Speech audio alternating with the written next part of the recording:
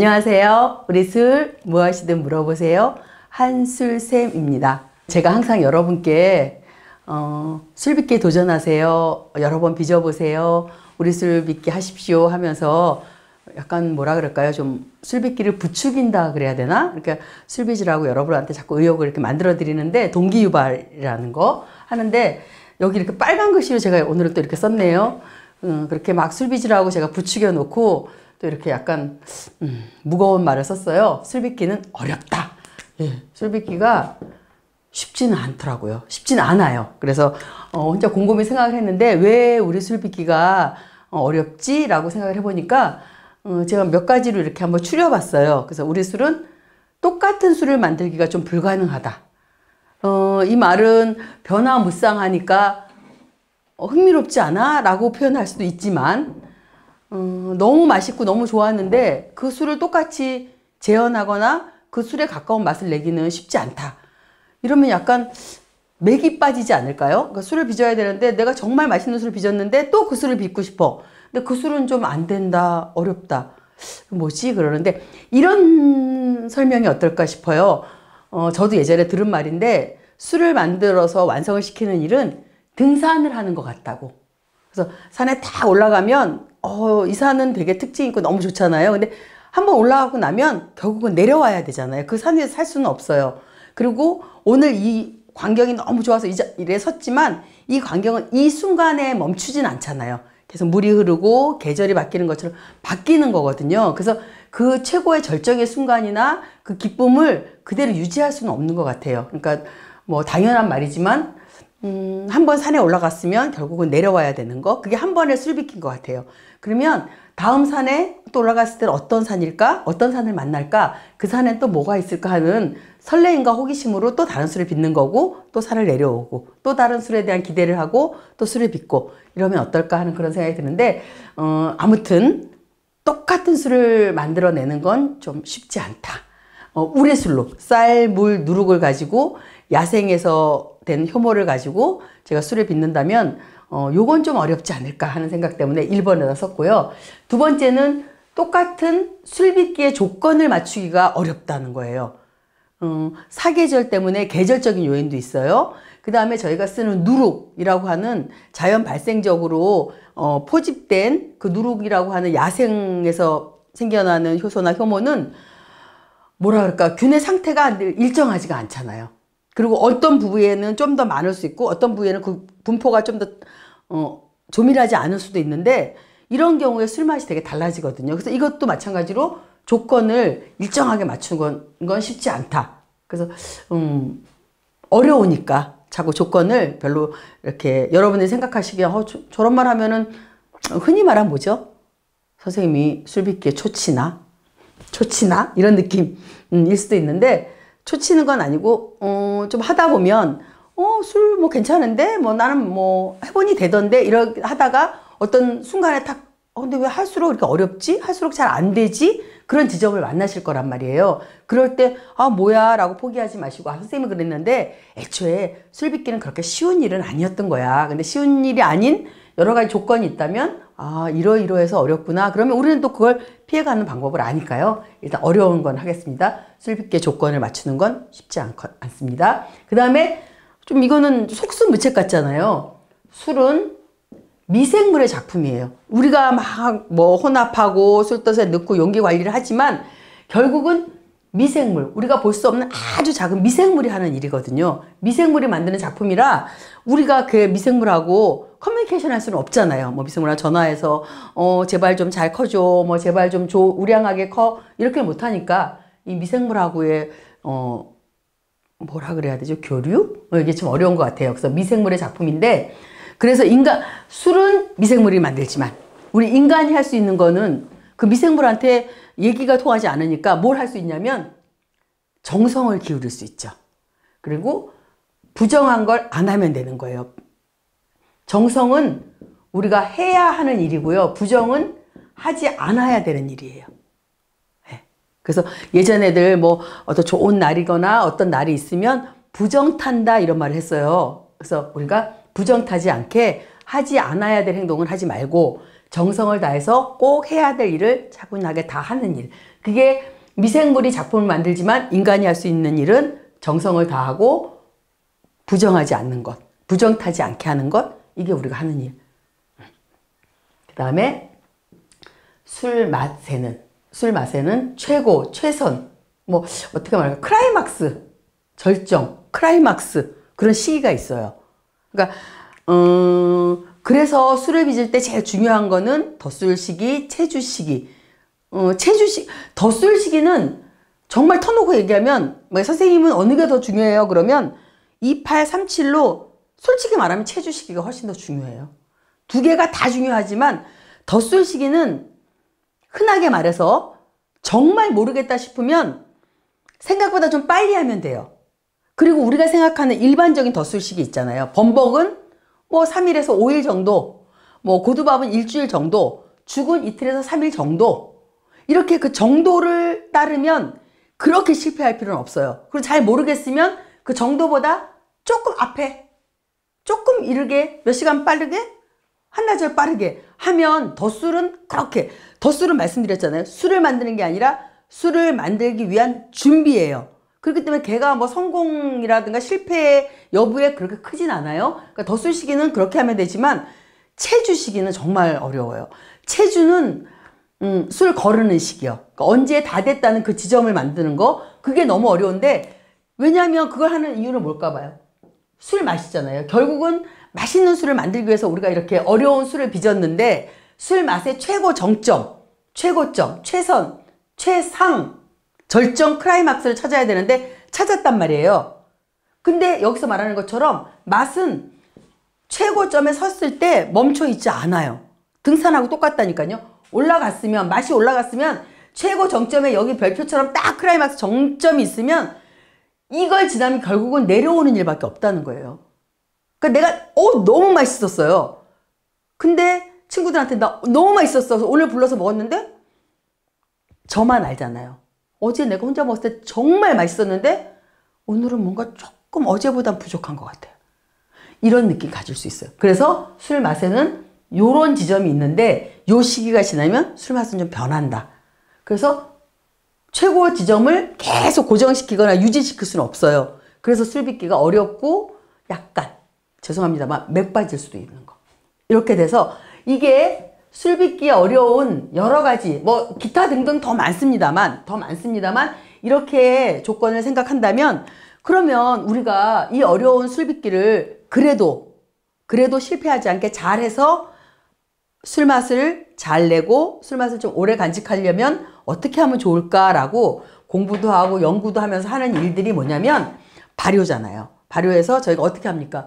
앞에 어, 미술일 때는 약간 당화를 위해서 한 30도 정도까지 온도도 올려주고요. 그 다음에 어, 교반이라 그래서 좌우 상하도 잘 섞어줘서 당화가 잘 되게도 도와주고요. 또 덧쓸 때는 어, 좋은 알코올을 만들기 위해서 저희가 현기 상태로 좀 이렇게 밀폐시켜도 놔보고요. 그런 일들을 이제 발효해서 어, 주된 발효, 어, 주 발효를 먼저 하고 어, 예전에는 그냥 넣어놓고요. 뭐 일주일 한 달 있다가 그냥 걷었는데 요즘은 후발효라 그래서 아까 제가 말한 당화를 했고 그 다음에 알코올 발효로 넘어가면 여기서는 뭐 25도에서 30도 정도까지 올려서 주 발효를 한 3, 4일 하고 나면 그 다음에 후발효는 한 22도에서 25도 정도로 조금 낮은 온도에서 서서히 그래서 저희가 말하죠. 저온 장기 하면 되게 맛있어집니다. 후발효를 하고 이거는 개인적인 선택일 것 같아요. 체주가 먼저일지 숙성이 먼저일지.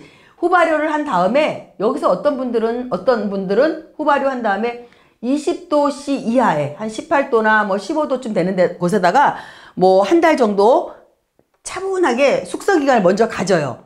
그래서 뭐 이걸 좋게 말하면 술 맛들이기 시간도 되고 그래서 차분하게 장기간 좀 시간이 있게 저온으로 좀 숙성을 해서 좀 더 맛을 들여, 드리는 이런 걸 하시는 분도 있고 여기서는 반대입니다. 어떤 분들은 후발효가 끝나자마자 끊어서 바로 체주로 먼저 들어가요.